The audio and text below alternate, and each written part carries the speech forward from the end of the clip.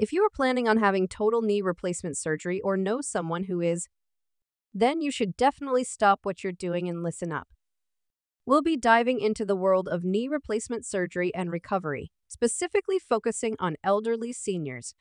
So stay tuned because we have actionable steps to help you through this process. The medical world has made significant advancements in managing total knee replacement surgery for older seniors and their recovery at home.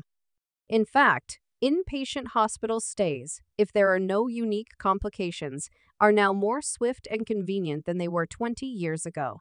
What used to require several weeks of hospital care may now only require a one day outpatient stay. So, why would you need to have knee replacement surgery as a senior? Well, medical conditions that permanently put wear and tear at the knee joint may render it functionally unusable. If you find yourself limited in walking due to pain or inadequate range of motion in the knee, it may be time to consider knee replacement surgery.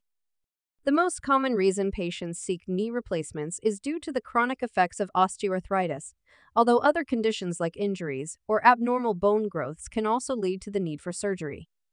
What are the risks of having knee replacement surgery as an elderly senior? Of course, with any surgical procedure, there are risks to consider. For elderly seniors undergoing knee replacement surgery, these risks may include infection, blood clots, anesthesia complications, damage to surrounding nerves or arteries, pain and swelling around the joint area, implant failure, or allergic reactions to artificial knee joint components. It's important to be aware of these potential risks and discuss them with your healthcare provider. What are the expectations post operatively for having total knee replacement surgery in the hospital as a senior? After a patient has left the operating room having completed their total knee replacement, he or she will be placed in an inpatient recovery room. Here is where the patient will be monitored and evaluated by nursing and rehabilitative therapy like occupational and physical therapy staff members. It may take a few hours for the anesthesia to fully wear off, which means the patient will have some lack of sensation below the hips and possible negative reactions, such as nausea, vomiting, or just general loss of appetite. If the patient was hooked up to a catheter for surgery, Nursing staff will wait for full sensation to come back before removing the line. The patient shouldn't be completely surprised if physical therapy comes in and has them walk the same day as surgery using a walker, even if it's just a few steps in the hospital room. Depending on the patient's response to surgery, if there were any existing comorbidity conditions, and knowing the prior level of function, for example, being able to walk independently versus being completely immobile prior to surgery, he or she can expect to stay in the hospital anywhere between 1 to 3 days. If a patient's home setup is not appropriate for safe recovery, such as impossible physical barriers, for example, several staircases with no elevator or a lack of caregivers, the doctor may discuss possible discharge to an acute care facility or skilled nursing care before returning home.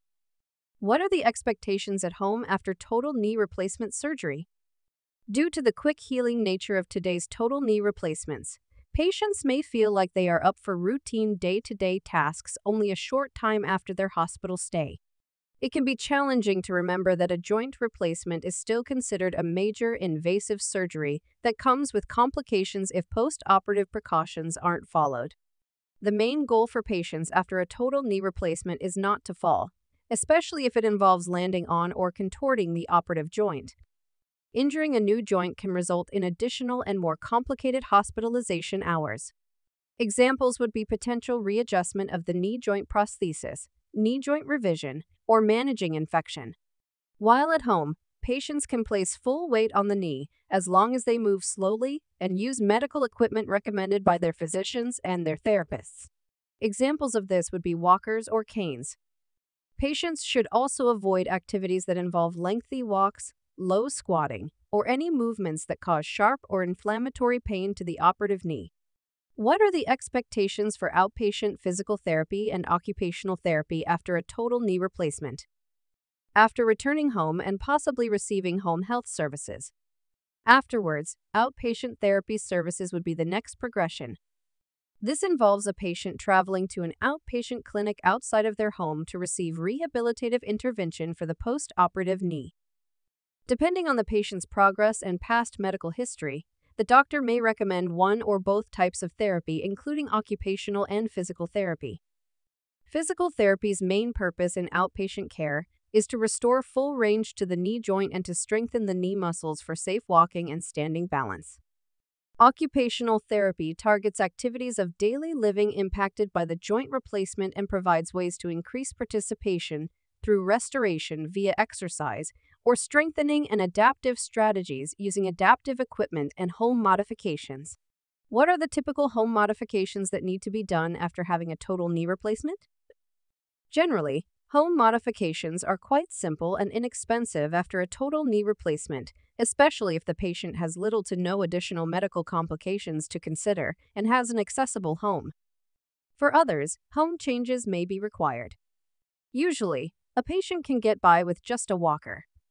Other pieces of equipment or installation may include some or all of the following a hip kit, which includes long handled supplies such as reachers and dressing sticks, a raised toilet seat, wheelchair ramps, grab bars, shower benches, long handled removable shower heads, non skid mats, and any other assistive device aids that can be used to help perform activities of daily living. An occupational therapist can provide a thorough evaluation that will give a patient a better picture regarding their own unique home modifications. What are the goals for continuing your home exercise program and improving your functional mobility after having total knee replacement surgery? Home exercise programs may be assigned to the patient prior to leaving the hospital or during home health services. This includes any therapeutic exercise that will safely strengthen the joint and increase range of motion.